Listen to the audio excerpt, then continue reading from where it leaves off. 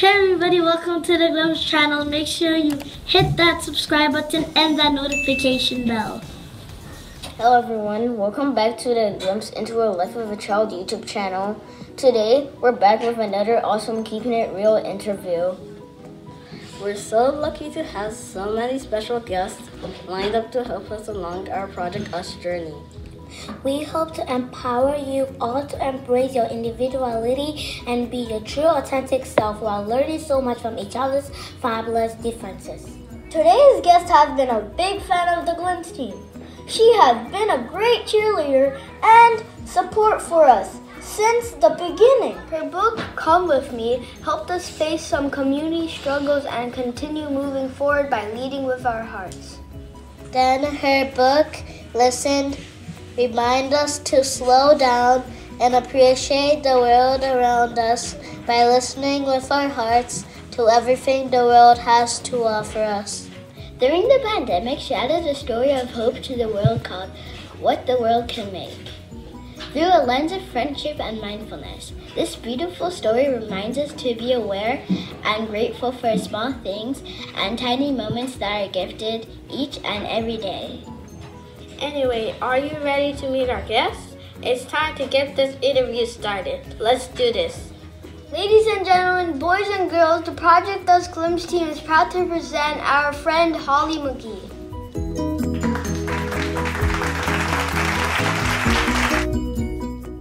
Hello, Glimpse family. I'm Holly M. McGhee, and I'm a writer, a literary agent, the mom of three kids, age 23, 20, and 17, and a pup named Dario, who's four, turning four years old. I am very excited to be included in this series, and I'm so looking forward to having a conversation. Hi Holly, it's so nice of you to take the time to connect with the Glimpse team. We know how busy life can be, so for you to generously take time to work with a bunch of kids from Toronto is very kind of you. I'm so excited to be able to ask you a question. Glimpse kids always say that everybody is perfectly unique and magnificently awesome. What is one quality that you love about yourself and why? That's a pretty hard question. What's one quality I love about myself and why?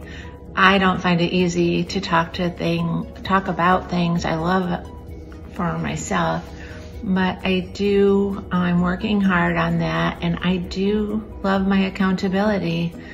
I always show up, whether it's for a friend, whether it's for a celebration, whether it's for someone who needs to talk to me, I think is calling someone back, responding quickly. I think it's really important in life and has been a measure of my professional success for sure, and being accountable to the page as a writer as well.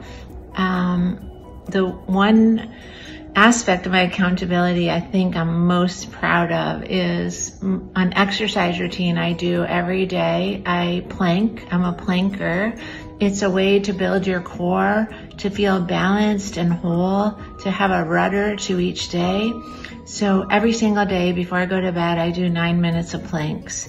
And on November 14th, 2023, I'll be celebrating nine years of planking every day. At the moment, I have a couple of friends who do it with me.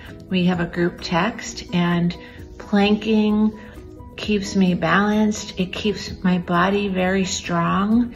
And it's something I know that I'll do every day before bed. And so I highly recommend finding, it doesn't obviously have to be planking, finding something in your life that you do every day, you make a routine of, and it will be a sort of um, carry you through the great times, the hard times, all the times, and you know you can count on yourself to do it every day. So that's my answer. Hi Holly, the Glimpse kids are exploring the many different things that make us who we are. We know that every new experience, every new person we meet, every mistake we make, every goal we reach has an impact on the person we are becoming. We are all a work in progress, always moving forward and learning along the way. The kid I was back in kindergarten is different from who I am today. And who I am today is surely different from the teen or adult I will become one day. If you could choose to chat with a younger version of yourself or an older version of yourself, who would you choose and what would you talk about? I'm looking at myself in high school right now. 9, 10, 11th grade were so hard for me. And I want to say, you are so beautiful and brilliant. And why didn't you go to mathletics? Why were you so embarrassed that you were smart? You should have been proud. Let's talk about that. You weren't comfortable shining. And, you know, you're gonna shine, girl. Because being authentic, being exactly who you are, it's the path to freedom and it's the path to luminosity. And don't we all want to be luminous? Of course, in our own ways. Hello, Holly. Thanks for hanging out with us for this interview. We appreciate the opportunity for us to learn together. Our final question is for you about taking risks, trying new things, and learning from failures. Can you think of a time when you took a risk and failed? What did you learn from that experience and how did it make you a better you? My failures and what I've learned from them. I could talk about this for an hour, but I'll go back to when I was 17 in high school. I was awarded a scholarship from AFS, which was an organization built to promote peace throughout the world and understanding of different cultures in different countries. And I was sent to Sri Lanka, which is a teardrop shaped island at the southern tip of India. And I arrived. There weren't even cell phones back then. And after getting familiar with the, my family and the culture, I was brought to a recital where I was put on stage and asked to sing the American national anthem, the Star Spangled Banner. Not only do I have a not so hot singing voice, but I couldn't remember the words either. And it was a pretty big failure. Maybe I got out, oh say can you see, and that's about it. And later that month, I was put into a tennis tournament in Sri Lanka. Um, based on my height and how strong I am, they assumed I could play a great game of tennis, and I had never played in my life. I was outmatched, I was embarrassed, and yeah, it wasn't pretty. But what I learned from that is, okay, let's never make assumptions about people's talents or what they can do or what they know based on what they look like or where they're from. And number two, let's always forgive because my my host family, they were so kind to me. They weren't embarrassed that I was so bad at the singing or the tennis. They loved me just as much. And so two important lessons for life. Don't assume anything and always forgive and we'll all be happy. Hello, Holly. My name is Ola. This is the best part of our interviews. It is now time for you to flip the Keeping Real interview script. It's time for you to ask me a question. Ask me anything you want. Go ahead, ask away. I'm so happy that it's my turn to ask a question, and this is for Ola. And as context, I was thinking about my childhood and how I often felt really lonely and I invented a friend, an imaginary friend, who kept me company and was by my side every day at nursery school. And his name was Guy Hose. He wore long gray socks and he did all the naughty things I wasn't allowed to do. So when my parents went for a teacher conference, they came home and said that my teacher said Guy Hose didn't exist. And I said with utmost confidence that he did. And because he did, and he kept me company in the loneliest of times, we all need companionship. And for me, the companionship was with my friend Guy Hose. And he ended up in my novel, Matylda Bright and Tender, and he's with me to this day. And so I wondered, Ola, if you have an imaginary friend, and if so, who are they and what are their traits? And if you don't have one and you could have one and you could invent one, what traits would they have? What personality traits would they have that would support you in your life and keep you company in all the times the sad times, the happy times, the regular times. I would love to know about them because I think it's so important that we all have our imaginations and our imaginary friends or imaginary symbols to keep us company through our lives. It's a safety net that we can always fall back on.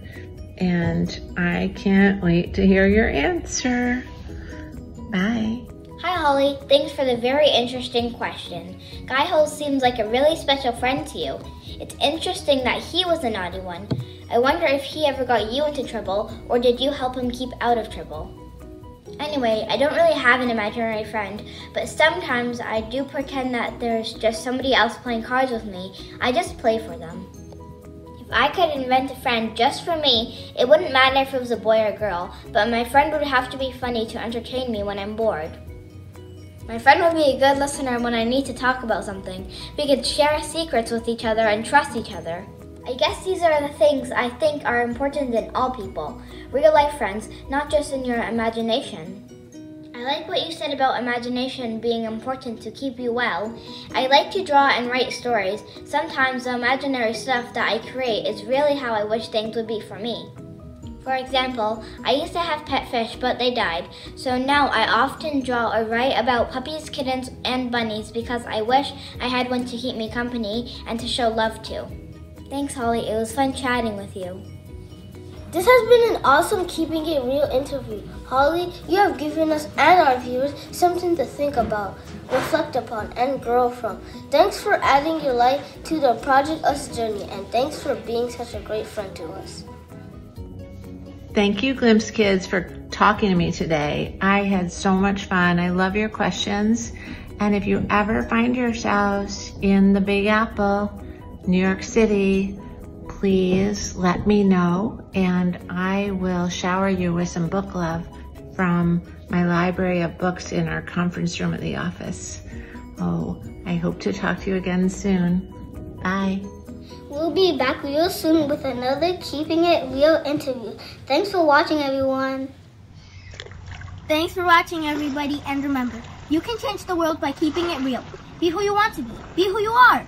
Lead with your heart and you will go far. Have a nice day, everyone. There's joy, there's